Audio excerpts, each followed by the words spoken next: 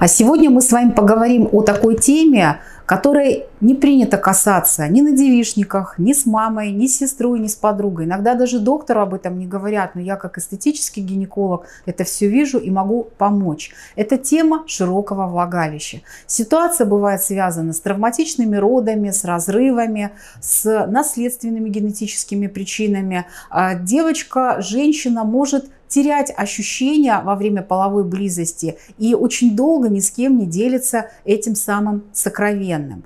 Понятное дело, что именно доктор ставит диагноз синдрома релаксации или синдрома расслабленного влагалища. Но хотите, я вас научу, как самой поставить себе предполагаемый диагноз и сразу же побежать к доктору, если вы это увидели.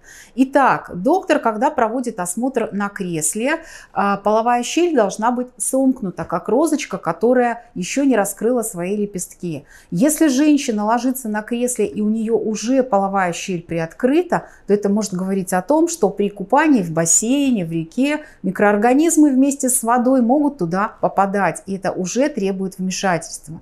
Вам необходимо перед зеркалом а, потужиться слегка. Если вы видите, что при натуживании половая щель начинает приоткрываться, зияет, это говорит о том, что здесь нужно вмешаться. Теперь мы в продолжении расскажем, как помочь женщине чувствовать себя женщиной.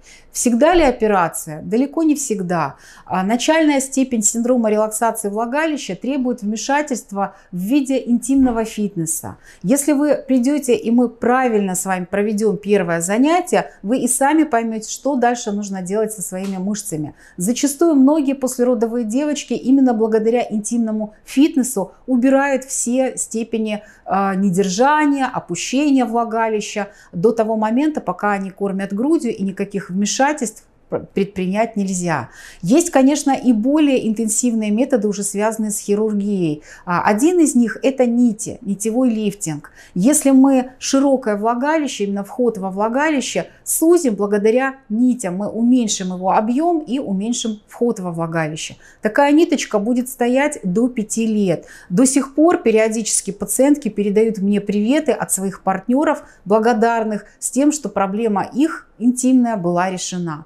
Если же при осмотре я увижу высокую степень опущения влагалища, Э, интимный фитнес в некоторых ситуациях просто не помогает, а бывает даже вреден, если есть надрыв мышц или связок, то тогда мы предпринимаем решение о том, чтобы провести уже пластику. Если вы больше не будете беременеть, рожать, то есть ничто потом не повредит э, красиво восстановленное влагалище, мы можем приступить к пластике и э, реабилитация порядка 3-4 недель, и далее вы чувствуете себя опять как в 20 лет и как не рожавшая. Приходите, посмотрим.